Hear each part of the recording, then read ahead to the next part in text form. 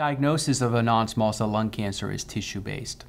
Typically, if a patient has had a CAT scan or an x-ray that demonstrates uh, an abnormality in their lungs, the first question is to try to understand what is that abnormality. That is, does that abnormality represent a lung cancer? That uh, biopsy uh, can happen in a, in a, number of different ways.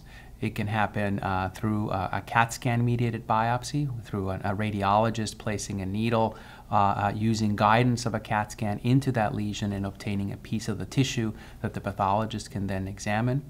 If the, the disease is amenable to uh, a bronchoscopy, so a, a, tube that's placed uh, through the nose or into the mouth into the airway where the pulmonologist can see the cancer and can, under visualization, biopsy that cancer. That is another way of obtaining a tissue-based uh, diagnosis. And finally, uh, in some cases, uh, our surgical colleagues help um, to make the diagnosis of the cancer.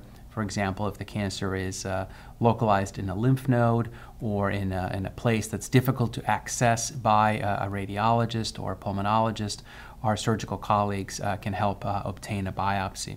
The most important uh, aspect of this is that the diagnosis to, has to be based on a tissue-based diagnosis, and depending on the location of the tumor, uh, different specialties and different consultants will need to be um, employed uh, to help uh, obtain that tissue diagnosis.